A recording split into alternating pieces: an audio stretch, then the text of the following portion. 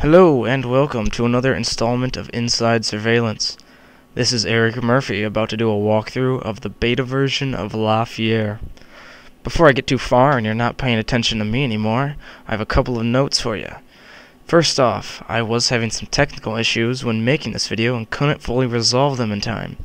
So if you see any glitches in the video, sound gaps, lags, it's not the game, it's my setup, I apologize already.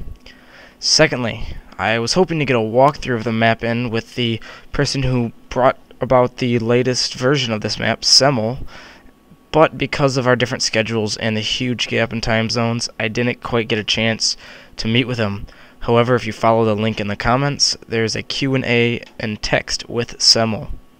Lastly, I tried to postpone the voiceover for as long as I could because you may be able to hear I've been sick, but it looks like I ran out of time. So, Bear with me, I will try to sound as enjoyable as I can. Now, without further ado, La Fiere.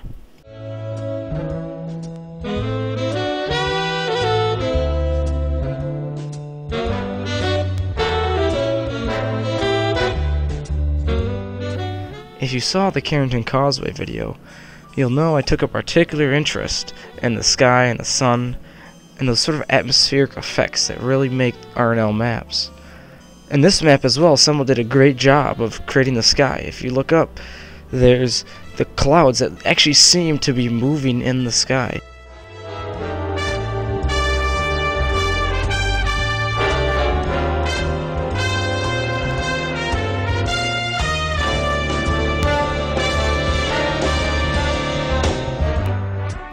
One thing I can't stress enough, along with the whole cloud aspect there, is the environmental and atmospheric aspects to the game.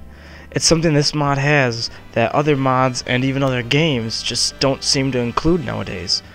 I've been I was playing a game recently and I walked into a room and the whole room was the size of a bathtub and there was a bathtub in the room. So you walk in and it's just a bathtub.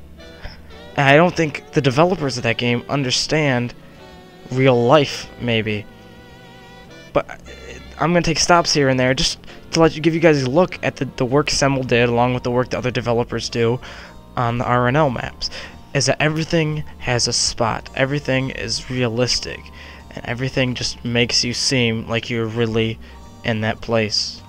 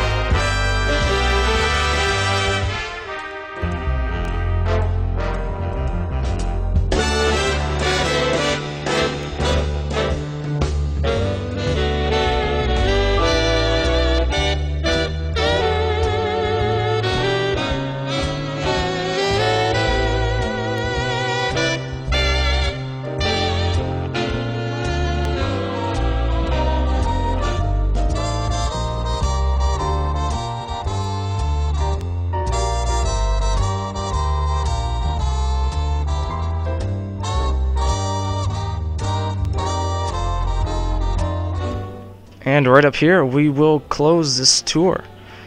There's certain aspects of this map I'm sure you RNL fans remember, certain aspects that you guys probably have never seen before. In fact, I have not shown you the whole map. That is right, I am not allowed to, just like some of the other maps. So bear in mind, there will be some surprises that you guys have no idea what's coming, and I'm sure you'll like it. And I hope you guys look forward to it as much as I am. So, again, hope you enjoyed La Fiere.